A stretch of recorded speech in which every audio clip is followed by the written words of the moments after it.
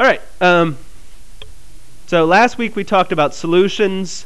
Uh, solution is a mixture. It's when you mix things together and they're evenly distributed. The distribution of particles is perfect. And I'm going to put the word perfect in quotes, as you can see on the video. Um, so if you took samples from that solution, every single sample would be identical. It wouldn't, doesn't matter where you took it from. There are a bunch of terms in the notes. The worksheets do not practice those terms very often. You have to look through the terms. I will be using the terms from time to time, but it's not going to say, what does supersaturated mean? You need to look those things up and know them. So the first question, though, is really just about the, the two terms. This is the only two term questions on there. Solute and solvent. Um, the solute is whatever you have in the lesser amount. In this case, it's the ammonium nitrate. The solvent is in the larger amount limestone. We don't have a lot of large, we don't have a lot of solid, solid mixtures, but this is a solid, solid mixture, um, which is kind of weird. We don't usually see a lot of these. The second question was about percentages, and we had an equation in the notes that was you take the the one oh that's way too big. You take the the the solute still way too big. Come on. The solute divided by the solution times 100 is equal to whatever percentage. I guess technically it doesn't have to be the solute divided by the solution. It's whatever part you care about divided by the, the total. Um, so in this case, though, they gave us the percentage. They said it's 11.8. Why is this 0.118 here, though, if they gave us 11.8? They already divided the 100 over. So they just divided the 100 over. So 11.8 divided by 100 is 0.118. That's why your like middle school teacher said, just move the decimal two places. Bam. Um, the percentages are really over 100. Uh, you could even think of this as a ratio. 11.8 over 100 is equal to x over 1500 grams because percentages are always over 100. That's why it's percent per 100. Um, so just solve for the mass of the alcohol or ethyl alcohol that's in the wine. Uh, this is without sig figs. That one is with sig figs. So we don't use this a lot, although in the real world of non-chemistry land that most people live in, this is very common. So I picked up this dial soap uh, earlier today, turned it around, and it has triclosan in it. Don't ask me what triclosan is, other than it's in this dial soap. And it says there's 0.15% triclosan in there. They're not doing it by moles, they're doing it by mass also. So when they mix the components together and they advertise them to people, they do it by mass. And triclosan evidently is an antibacterial thing. It kills bacteria. So we, however, are chemists in this classroom, so we're going to use moles a whole lot. And we talked about molarity last class as the way that chemists measure moles in a solution. And molarity is how many moles have been dissolved into a volume, and the volume must be in liters. All right, the volume has to be in liters. And we used this equation, m is equal to n over v, to kind of help us do the math. Um, we started using N as the moles last chapter.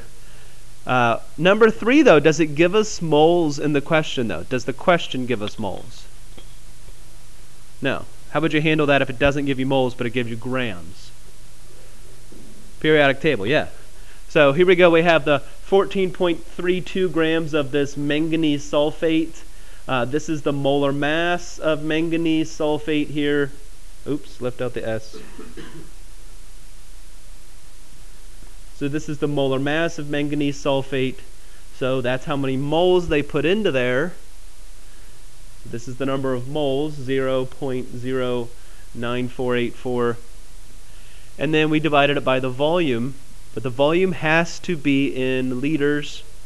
So we took the 645 milliliters and divided it by a thousand to get 0.645 liters. And we have this answer that is 0.147 molar MnSO4. And what's confusing about these numbers is they don't mean much to people who don't know anything about molarity. Like you look at that, Frank, and do you have any idea how concentrated or dilute that is? I don't either because I don't have a lot of experience with manganese sulfate. But if it was like hydrochloric acid or even a sodium chloride solution, compounds I work with a lot, when I see molarities, I have some concept of how much is in there because I have experience with it. Um, but there's always a max. What is the term for the maximum amount the water could hold or a solution could hold? When you reach the max and it starts piling up, was it? Saturated, yeah, saturated. That's the max. You can't exceed the max without messing with the temperature. We're going to get to saturation graphs and stuff in a minute. Um, the second one, it's kind of the same idea as number three, but it's in reverse. Uh, you have a solution, it has a molarity that's given. How many grams are hiding inside of it, really? This is, this is how many grams are floating around inside of it that are potassium sulfide. So we can use the equation. We know the molarity, we know the volume, convert that to liters. And so I could do molarity times volume will give me the moles. So I did the molarity times the volume. And I have the moles and then I used the periodic table to convert it into grams of potassium sulfide.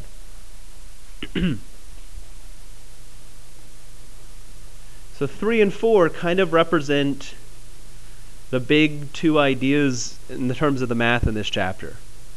They could be mixed with things we've already done in the past, like stoichiometry, um, not really so much gas laws. Why not gas laws? Why can't you really do this with gas laws?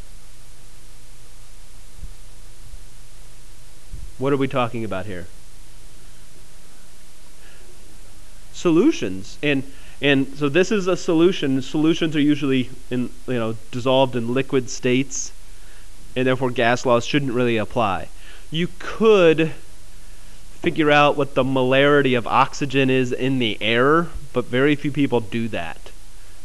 You could figure out how many moles of oxygen are in the air, what volume is the classroom. You could you could do that, but I've Never seen that done ever. Um, but technically, air is a solution. Is it evenly distributed? Is the oxygen everywhere? Or is it just on this side of the room with these people? Uh, as evidenced by the fact that you haven't passed out yet, the oxygen is everywhere, right? And so if I take a sample from all over the room, it should be evenly distributed. And that means it's a solution. It's a gas-gas solution. Um, All right. Number five, they want to know how much chlorine is in this solution. Uh, but this compound doesn't have only one chlorine in it. This compound has three chlorines. And so if you took a solid and you added it to water, what state of matter would these things be now that they're in water? Aqueous. Yeah, they'd be aqueous. Um, they would be dissolved into the water, so they'd be aqueous. And for every one of these compounds that dissolves, you get one manganese. But for every one of these compounds that dissolves, you get three times as much chlorine. Because the chlorines aren't going to stay together. They're going to break apart and fly all over the place in the water, or float, I guess. They're going to float all over the place in the water and spread out they're going to spread out because they're all negatively charged. So they would not be attracted to each other. So they would really spread out to their maximum distance apart within the solution. So, how does that apply to this question? We have a volume and we have a molarity, but the molarity is for the whole compound. The molarity is for the whole compound. And when this compound dissolves, you really get triple the quantity of chlorine. So, first, let's figure out how many moles of the compound there is. So I did the volume times molarity, gives me moles. So molarity times volume. There's the moles of potassium chloride. Sorry, potassium. That's manganese. So that's the moles of the whole compound. This is how many moles, 0.78, that were put into the water. And then when they dissolve, they break apart. And so you really have three times the number of moles of chlorine in the water or solution than manganese. So that's kind of like blending um, this molarity and volume stuff with stoichiometry, with a mole to mole ratio. All right, pause for questions. Any questions? All right.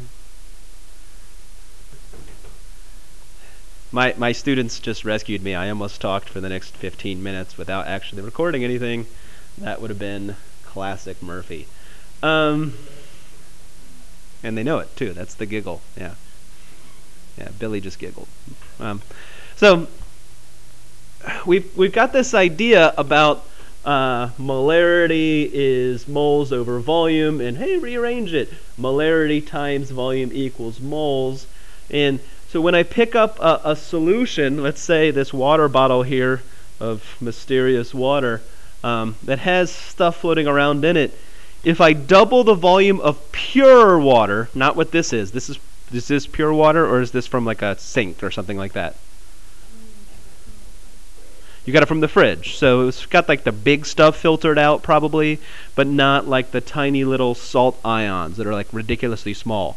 So your filter can only grab like the bacteria and the large dirt particles, but they're, it's never going to get the tiny little ions because they're tiny.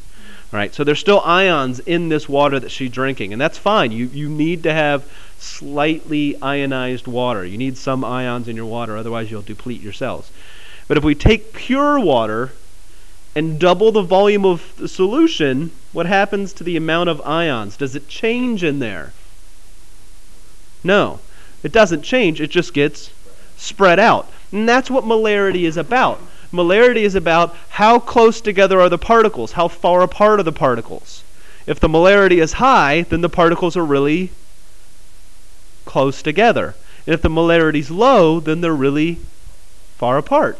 And so the moles aren't changing, just how far apart the moles are. And so here was the molarity of a sodium hydroxide solution, 10.75. That is a molarity that frightens me. If I make that solution, it frightens me. Um, that would be a pH of 15, 15.1, something like that. That is right off the scale, isn't it? Scale is supposed to be 0 to 14, and that's off the scale. So if I have a solution that's 10 molar sodium hydroxide, I'm quaking, all right? So they've diluted it down. They've diluted it down drastically to 0.25. 10.25. Let me actually grab a calculator and do some math.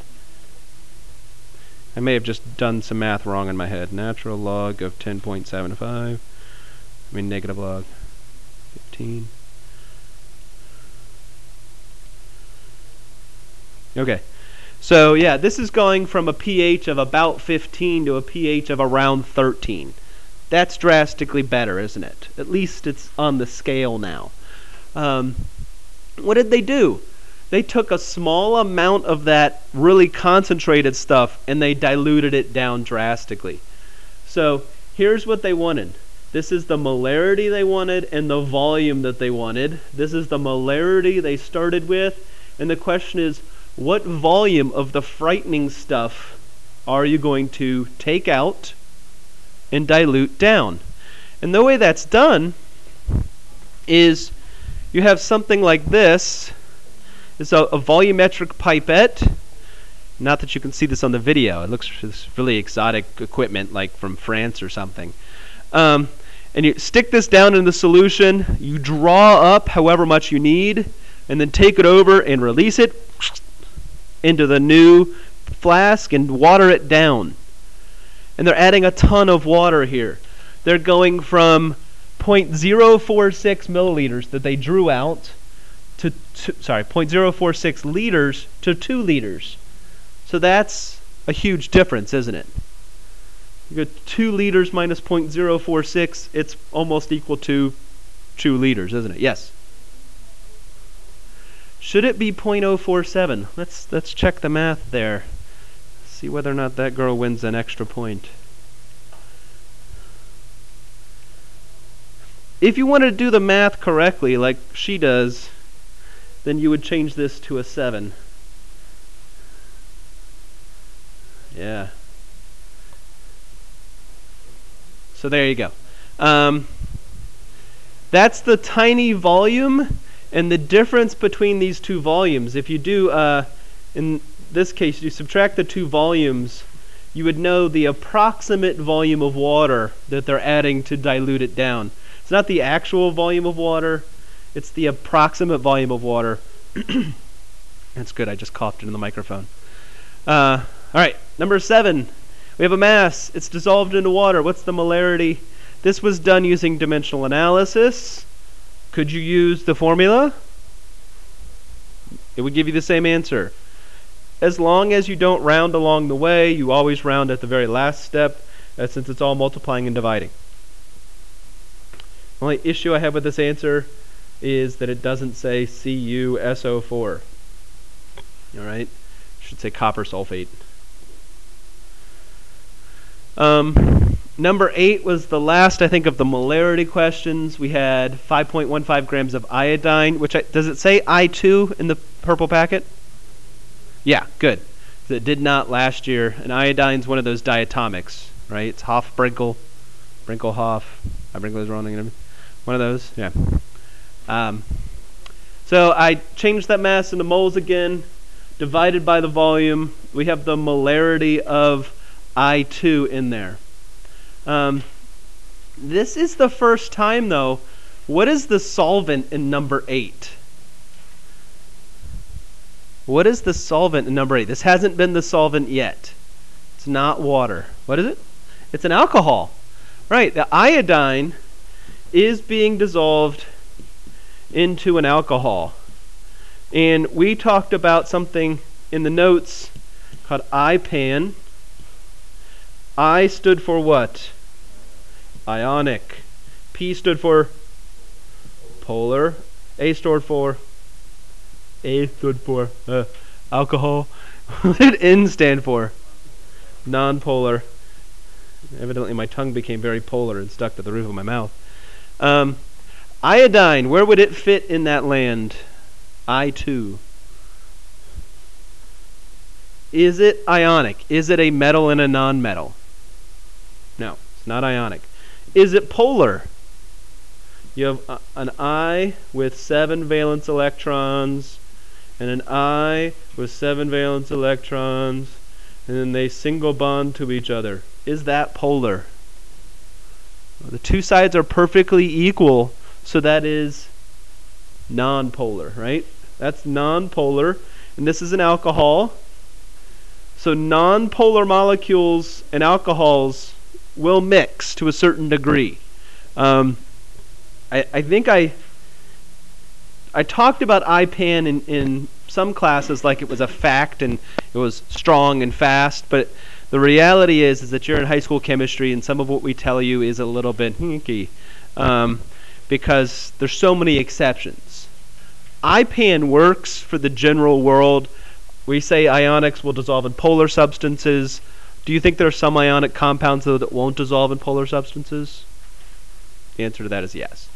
But for our purposes, ionics and polars, they mix pretty well. Polars and alcohols, they mix well. Uh, alcohols and nonpolars, they mix well. Nonpolar also mixes with nonpolar because they're very similar. Um, but does nonpolar and ionic mix? Not at all. And if you think about what these mean, ionics Ionics have positive cations and negative ions, so they're drastically different on each side. Polar is imbalanced, like it's like water is our most classic polar molecule. And it ends up having, because it's so imbalanced, it ends up having positive sides and negative sides. So these guys are attracted to each other. Alcohols, I think I get, no, I'm not going to get to a drawing on alcohol later. Like here's the most common alcohol, ethanol.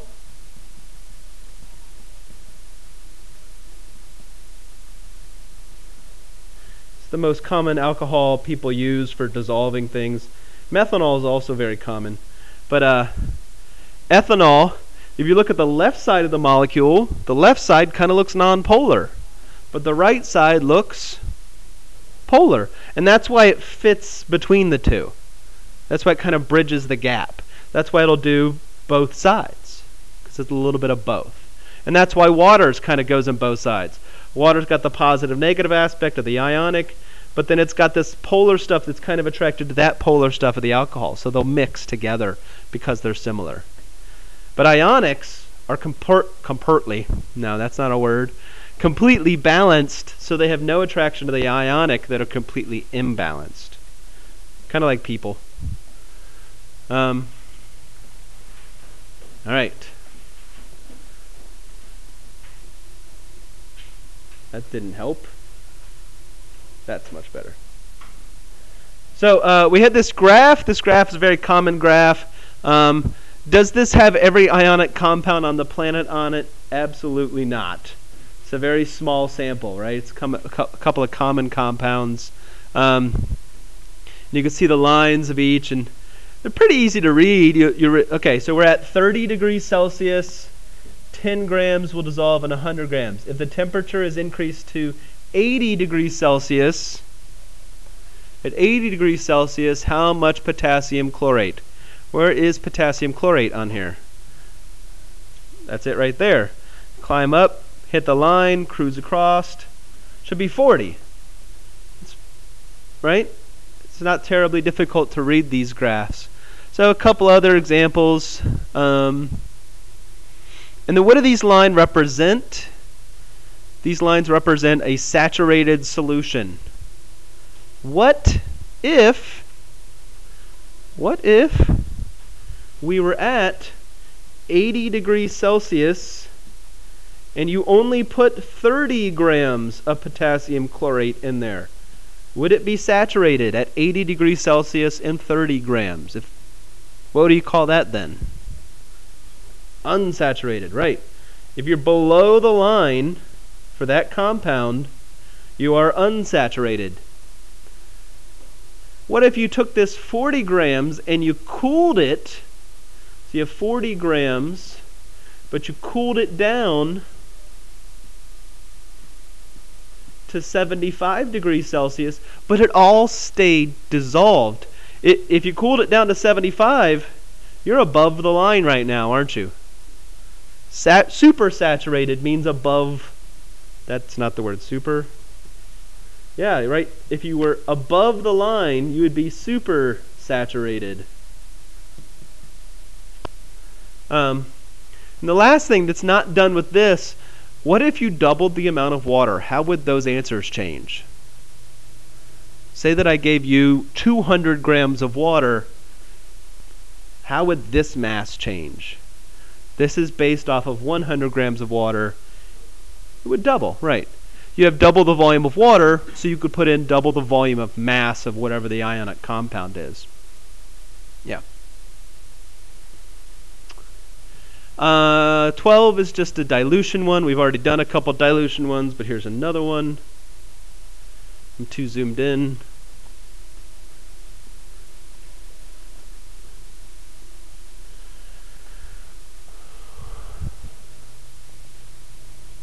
I always like when I breathe really heavy into the microphone and you get to listen to it later. It's like in the microphone. That's really pleasant. Sorry about that. Um, again, I, I looked at those two numbers. That 18 molar sulfuric acid. Sulfuric acid is one of the big five dangerous acids that people usually keep. It's one of the really, really strong acids. Um, we have 18 molar. It's very frightening to work with. It instantaneously burns you. 0.1 molar 0.1 molar is you know a lot less it's 100 times less it's more than 100 times less you'd have to divide this twice by 10 to get close to that number so it's more than 100 times less um, it has a pH of 13 versus a pH of like negative 1 negative 2 something like that um, that's neither here nor there though we have this molarity equation uh, the volume we solved for comes out in liters. This is probably not the right use of liters, right? How many miles did it take you to walk here from your locker? Would you measure that distance in miles from locker to here? No, what would you probably measure it in? Meters? I, I love that answer. Was that you, Patrick? Oh, yards. Okay. Oh, God. Yeah. yards would work because it makes more sense to measure distances of walking in like feet or yards. Would you measure it in inches? Probably not, unless it was like I walked 12 inches, right? Um, I took one step. So we usually adjust the units to fit the moment. So this number is way too small. It's 0.00138 liters. 0.00138 liters. Um, how many liters, how many milliliters are in a liter? A thousand, right? So there's 1,000 milliliters in there. So I multiplied by a thousand to get to that answer. And remember, this guy here, for those of you watching the video, I'm holding up a volumetric, a uh, 1,000 milliliter graduated cylinder. 1,000 milliliter graduated cylinder. How many liters are in here? One. All right. Someone asks, "Who's your leader?" Just hold this up. Um, how many milliliters are following this liter? There's thousands of milliliters following every liter, right? So multiply the liters by mil- a thousand, you have the milliliters. There we go. Okay, I left these blank because I thought we would work them out. Um, carbon tetrachloride. What's the formula for carbon tetrachloride? CCl4, right? So we draw a Lewis dot structure. Yeah, you still need to know how to do that.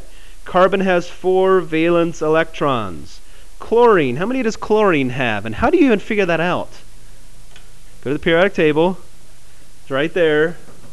Go one, two, three, four, five, six, seven. Is that true? What's that? It is a huge syringe, yeah. No comment on that. Um, so I'm going to put my seven valence electrons around this chlorine, and the one that's by itself I'm putting close to the carbon for easy bond purposes. But there's four chlorines. Each one has seven. And we are trying to get them to what magic number? What's the magic number? Eight. Eight. The octet rule from way back when said we want to get them to eight. So these seven cl- uh, chlorine, we need one more, and it bonds to the one on the carbon, and bonds to the one on the carbon, bonds to the one on the carbon, bonds to the one on the carbon. And the chlorines are at eight. One, two, three, four, five, six, seven, eight. And then the carbon, 1, 2, 3, 4, 5, 6, 7, 8. Everyone's gotten eight. We've drawn the Lewis dot structure um, using lines, but it still works. Uh, this, I don't know if you remember the shape names. This would be tetrahedral, right? That's so let's say tetrahedral. Would you say this is polar or non-polar?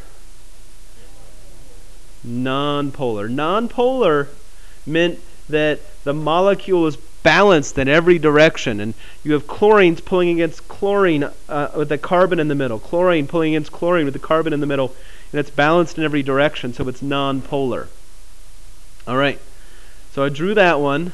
Ammonia, does it say the formula is NH3 there? Did it give you the formula, or just say ammonia? Sorry. So ammonia is NH3. Uh, that's nitrogen has five valence electrons. Hydrogen has one. Hydrogen has one. Hydrogen has one. Um, hydrogen is one of those exceptions we talked about. It only really needs to get to two. So is that one balanced or imbalanced after drawing the Lewis dot structure and getting everything to eight? That one, it's good with the hydrogens left and right, but top and bottom, it's polar, isn't it? And then lastly, water. H2O. Polar or nonpolar? Very polar. So, will it dissolve? Will carbon tetrachloride dissolve in water? This is nonpolar, that's polar. Will they dissolve? No. Ammonia is polar. Water is polar. Yes, it will dissolve. Oh, sorry. Insoluble. I answered the question, not make up my own answers. And this one would be soluble. Yes, that would be soluble. No, that would be insoluble. Um, we're not going to do the slightly soluble. It's either going to be yes or no, soluble or insoluble. Uh, predict the following in hexane. Hexane, you don't know what hexane is, do you? Um, hexane looks like this, though. I'll draw it. It's a carbon. It's actually six carbons, which is why it's hex. Hex means six. And then each of these carbons is bonded in a circle and then has two hydrogens coming off of it. And that's about as much as I'm going to draw, like that. Each of those two lines has a hydrogen on the end.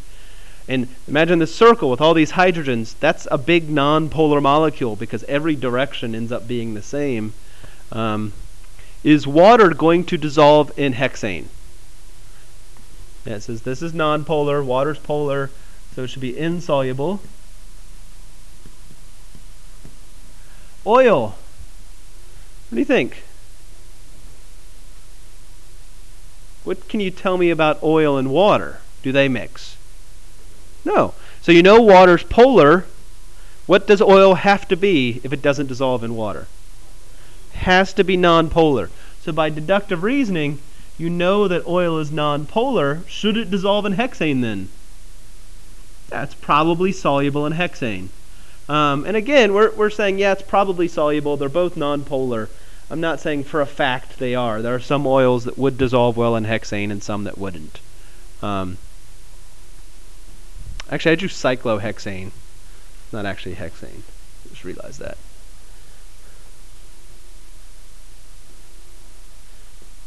Oh, skip the last one. And the last one's again just a mass percent question. What's the mass percent of each component?